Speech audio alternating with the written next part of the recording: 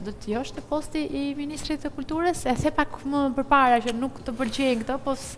Po nuk është, shiko, e di si e imagjinoj unë, kjo punë nuk është tavëll. Hajde lujmë tavëll edhe shiko ta marr unë këtë. Kjo punë është ai që e drejton këtë punë.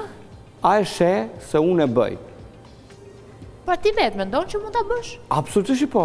Këtë po them, në momentin që mendon që mund ta bësh po, dhe po.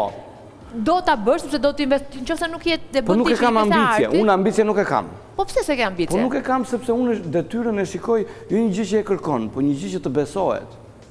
Ti e kërkove emisionin apo të thirrën dhe ta besuan? Të thirrën. Të thirrën dhe ta, po, besuan. Po mund të vije ta kërkoje. Po mund edhe të vije ta kërkoje. Por detyra, për sa kohë është detyrë, dikush ta beson.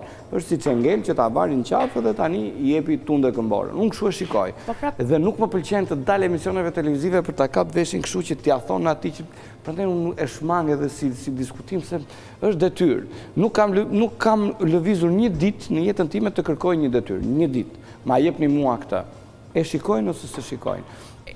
Edhe në bashki, pavarësisht se është mandat, nesër është në dispozicion të qytetarëve dhe Partisë Socialiste nëse ai atje e gjykon që unë nuk po e bëj mirë, po e bëj keq, apo kam rënë në ritmin e të bërit. Se është detyrë.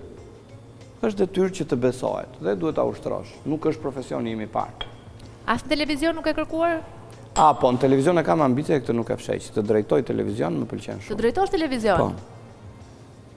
Më pëlqen shumë, më pëlqen shumë. Më pëlqen, më sfidon, më grish. Mund të bëhen të dyja bashkë?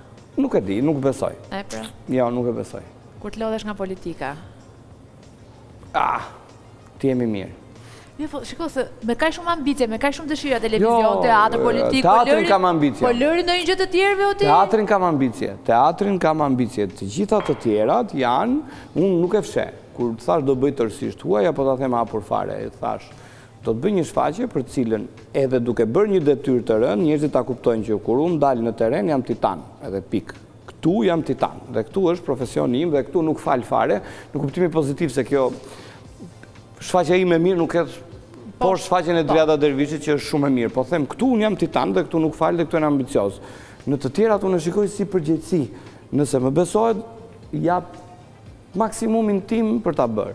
A e bëj mirë, e bëj keq, bëj gabime, këtë e gjykojnë ata që ta besojnë. Detyra nuk, detyra nuk është nuk është si profesioni, që ti varu aty dhe mos u lësho. Prit, prit, prit, se ta gjeta, ta gjeta, ta gjeta pozicionin, mbasi të mbarosh mandatin si kryetar bashkie. Jo, domethënë, në fall këtu, në të kishim pirë këtë, një kafe turke. Drejtor i teatrit. Ja.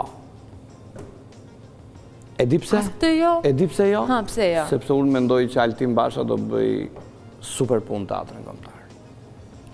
Po mos, Altini nuk do rrijë gjithë jetën, kur ti ke Jo, Altini nuk do rrijë gjithë jetën, po unë nuk kam qejf të shkoj në një vend ku është reformuar, është bërë dhe thjesht duhet mirëmenaxhuar, tani, a, kjo, kjo s'më pëlqen mua këtu. Këtu unë nuk shkoj për mirëmenaxhim, për shtyrë ditën, o kam kohë për dalë në pension. Para Altinit edhe mund të më grishte, po jam i bindur që Altini në fund të mandateve të tij do ketë lënë një transformim radikal. Dhe besoj këtë se me Altinin kam punuar 15 vjet dhe, dhe në këto 15 vjet, 4 vjet s'kemi folur. Po ta thotë njeri që në 15 ah vjet, 4 vjet s'kemi folur. Se dhe ti nuk i fole, se do thoja je i vetmi që kam pasur në këtë emision që më flet pozitivisht për Altinin. Edhe kur s'flisja me Altinin, thoja që është regjizori më i mirë shqiptar. Edhe është regjizori më i mirë shqiptar.